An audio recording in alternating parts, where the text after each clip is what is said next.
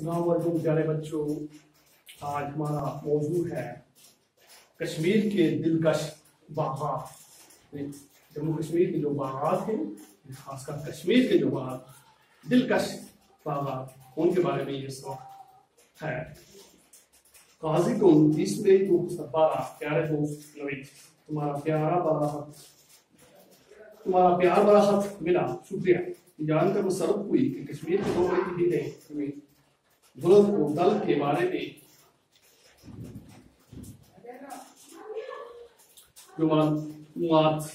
मैंने तुम, में पहले खत में लिख भेजी थी, जो तुम्हें पसंद आई। तुम यहाँ आए, आते तो उन दो मशहूर जिलों का नज़ारा करते।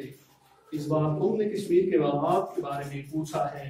उन बागों की खूबसूरती बयान से बाय मैं वो अल्फाज कहाँ से लाऊं कि कश्मीर के हसीन व ज़मीन बागात की तस्वीर खींच सकूँ तरह तरह के फूलों की रंग के रंग बता सकता हूँ लेकिन उनकी खुशबू तुम्हें कैसे सुनाऊं सब्जे की तख्तों का ज़िक्र कर सकता हूँ लेकिन उनकी मखमल फर्श पर नंगे पैर चलने बख्श कैफियत कैसे महसूस कराऊं चनारों की गली की तस्वीर खींच सकता हूँ लेकिन उसकी ताजगी बख्श ठंडक कैसे पहुंचाऊं फिर भी तुम्हारी ख्वाहिश के मुताबिक मैं यहाँ की खास खास तादाद के बारे में लिखता हूँ, ताकि देखो कि गर्म मौसम में तुम कुछ राहत महसूस कर सको।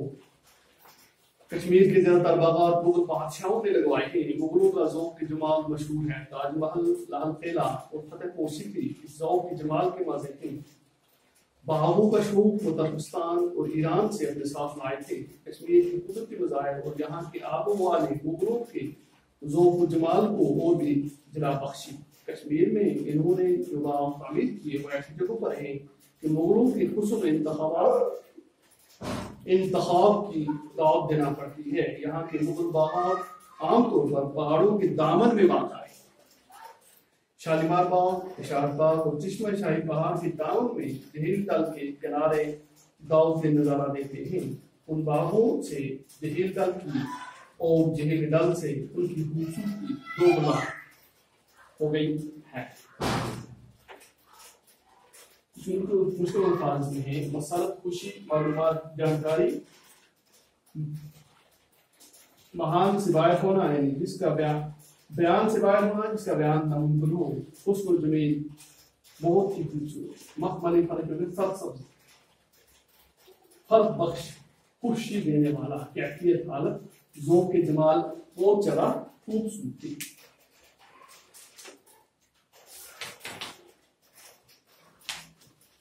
ये खत के ज़रिए एक दोस्त, दूसरे दोस्त को बता रहा है कि कश्मीर की खूबसूरती के बारे में अपने खत में वो लिख रहा है।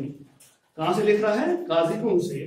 तीस मई दो हज़ार बारह में ये लिखा गया है। प्यारे दोस्त नवीद मेरे दोस्त, उसका क्या नाम था? नवीद तुम्हारा प्यार बड़ा खत मिला, शुक्रिया। आपका जो खत मिला मुझे उसके लिए, बहुत शुक्रिया। बहुत प्यारा ही खत था आपका।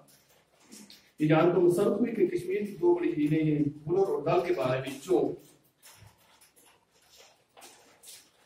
मालूमात मैंने तुम्हें पहले खत में लिख भेजी थी, वो तुम्हें बहुत पसंद आई, लेकिन इससे पहले भी उसने कोई खत भेजा है उस खत में उसने दो झीलों के बारे में ज़िक्र किया था, वो खत उसको बहुत पसंद आया। झीलों के बारे में उसने लिखा था, वो चीज़ उसको बहुत पसंद आई तुम यहाँ आते तो उन दो मजबूर झीलों का खुद गुजारा करते ये उसको दावा देता है कि अब खुद तुम यहाँ आते तो इनका गुजारा करते मैंने इसको खत में ही लिखा है। इस बार तुमने कश्मीर के बागात के बारे में पूछा इन बागों की जान से है। अब तुमने खत जो भेजा है, उसमें आपने लिखा है कि मुझे कश्मीर के बागों के बारे में लिखो, कि वो कैसे बाग है वहाँ पर, कैसी खूबसूरती है, कैसा नज़ारा वो पेश करते थे लेकिन कहता है कि खत में लिखना, ये लिखने से बाहर है। मैं वो अल्फाज कहाँ से लाऊं कश्मीर की खूबसूरत ज़मीन, हसीन व ज़मीन बागात की तस्वीर खींच कहता है कि मैं वो लफ्ज कहाँ से ऐसे अल्फाज मेरे पास नहीं है कि मैं इन कश्मीर के बागात की खूबसूरती को लिखूं मैं तरह तरह के फूलों की रंग बता सकता हूँ। मैं फूलों के रंग को बता सकता हूँ कि किस किस्म फूल हैं। गुलाबी, लाल, पीले हरे भरे लेकिन इनकी खुशबू में कैसे सुनो? लेकिन इनकी जो खुशबू आ रही है, ताज़ा ताज़ा, वो मैं आपको कैसे सुनाऊँ इस हक में? मैं तरह तरह के फूलों के रंग बता सकता हूँ, लेकिन उनकी खुशबू में कैसे सुनाऊँ? सब्जे के तख्तों का ज़िक्र कर सकता हूँ, लेकिन उसकी मखमल फ़र्क नंगे पैर चलने के फ़र्क बस कैफियत कैसे महसूस कराऊं मैं? आपको यहाँ के फ़र्क के बारे में बता सकता हूँ कि ये सब समझ है। लेकिन जब मैं उस पर चलता हूँ, मखमल की तरह वो नरम है तो नरम चलने से वो खुशी महसूस होती है, वो आपको मैं खत में कैसे बता सकूँ चिनारों की घनी छाओं की तस्वीर खींच सकता हूँ, लेकिन उसकी ताजगी बस ठंडक कैसे पहुंचाऊं? फिर भी तुम्हारी के अंदर में यहाँ के खास खास में के बारे में लिखता हूँ, ताकि जयपुर की गर्मी से कुछ राहत महसूस कर सकूँ।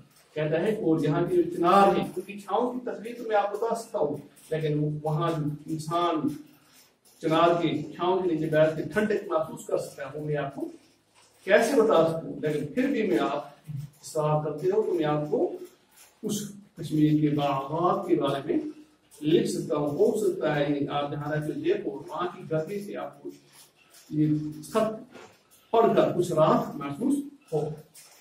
कश्मीर के ज़्यादातर बागात मुगल बादशाह ने लगाई है। कहता है कश्मीर के बागात के वो ज़्यादातर मुगल बादशाहों ने लगाए हैं। मुगलों का दौर जब था कश्मीर के अंदर, हिंदुस्तान के अंदर ज़्यादा उन्होंने कश्मीर में क्या लगाए?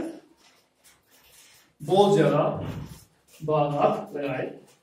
मुगलों का दो इमारत मशहूर है। मुगलों को बहुत शौक था इन चीज़ों का। ताजमहल लाल किला फतेहपुर सिक्री दो इमारतें वजह वो हिंदुस्तान में बहुत सारी चीज़ें हैं। ताजमहल है जैसे, लाल किला है फतेहपुर सिक्री है, ये मुगलों का देना है। इस चीज़ से भी आप देख सकते हो कितना कितना शौक है इन चीज़ों उनमें, उनके अंदर। बाहु का शौक, वो तुर्कस्तान और ईरान से अपने साथ लाए। थे मुगल बेसिकली तुर्कस्तान के और ईरान के थे, और ये चीज़ वहाँ से उन्होंने अपने साथ लाइफ के लिए शौक बाबू का शौक था उनको, क्योंकि वहाँ पर क्या थे? बाग घर बहुत ज़्यादा थे। कश्मीर के पूर्व के मनाजर को यहाँ के आबोहवा मुगलों की दो गुजमात को भी और जिला बख्शी। कश्मीर में उन्होंने जो बाग ताबीर किए वो ऐसी जगहों पर है, मुगलों को उसमें इंतखाब की दाद देना पड़ती है। उनको बहुत ज़्यादा शौक था उन्होंने बहुत सा। से फ़ायदे भी, और लोगों को खुश, खुशी भी दी। और इन्होंने बाग ऐसी जगहों पर लगाया जहाँ इंसान सोच भी नहीं सकता है।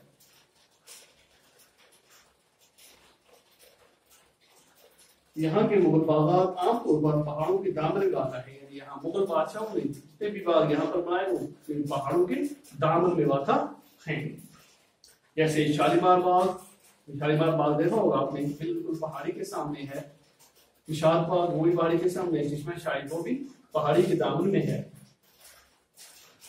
और साथ साथ क्या है? इनकी आगे बागों के, बागात के आगे क्या है? जीतल है। वो इसका नज़ारा पेश करती है।